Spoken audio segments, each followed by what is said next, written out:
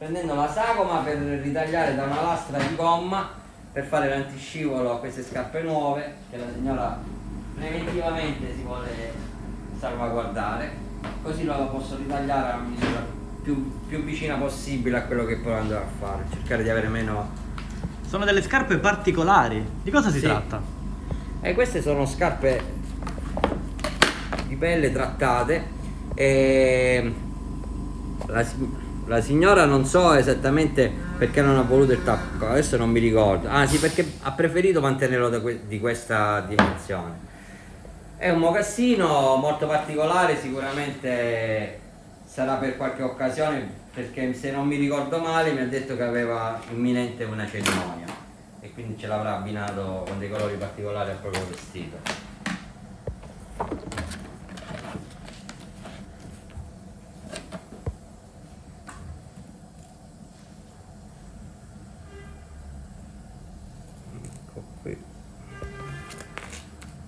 Misura perfetta.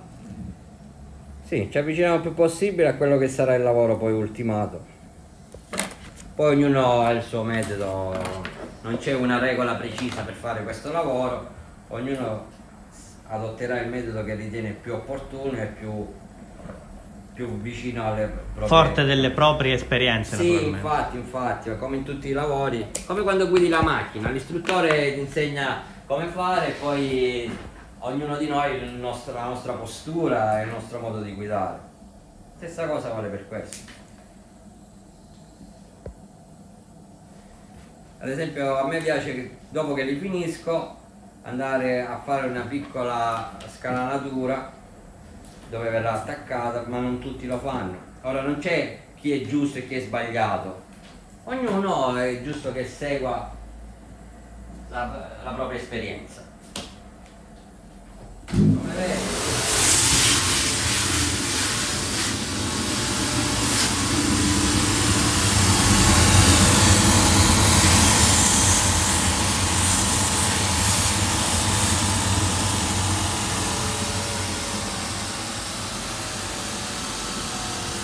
Modo che quando la metterò non si vedrà proprio niente. Andrà proprio a filo con la preparazione del fondo che mi ero fatto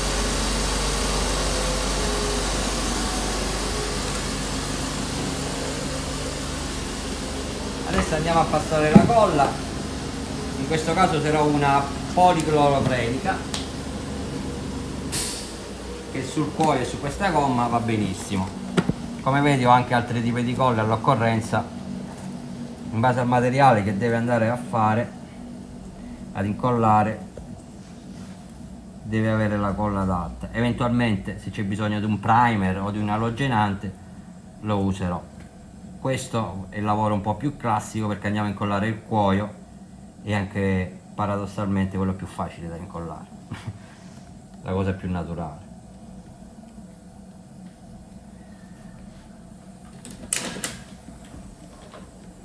Devono stare un pochettino ad asciugare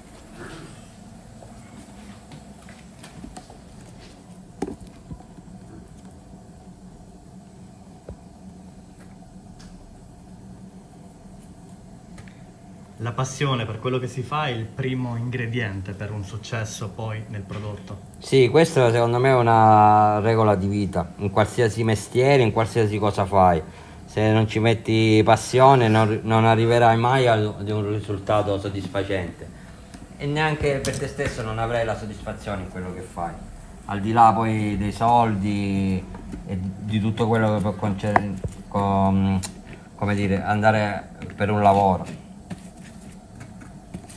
fondamentale è la passione come uno sport. Per fare sacrifici deve averci la passione se no dici ciao non faccio niente. Come vedi questo qua ho usato questa colla poi quando ho incollato questo qua ho un altro tipo di colla completamente un altro tipo di lavoro molto tecnico che una volta era impensabile fare. Oltre ad avere la pressa deve avere le colle giuste l'esperienza giusta e, e tanta buona volontà perché sono anche abbastanza ingombranti come scarpe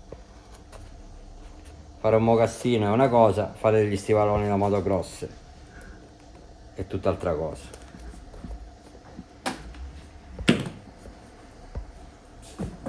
Quanti minuti devono stare qui adesso le scarpe prima di incollare? Un quarto d'ora abbondante quando, per asciugare. Dopo un quarto d'ora quando la colla sarà asciutta completamente valuterò intanto se ripassare un'altra mano a questa qua perché il cuoio tende ad assorbire molto la colla.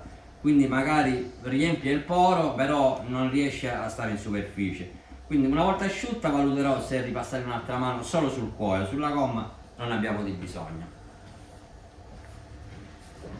E noi torneremo ad incontrare il signor Salvatore Schevis. Ringraziamo tutti voi per essere rimasti in nostra compagnia in questo importante video dedicato al settore dell'antico mestiere del calzolaio. A tutti, ciao!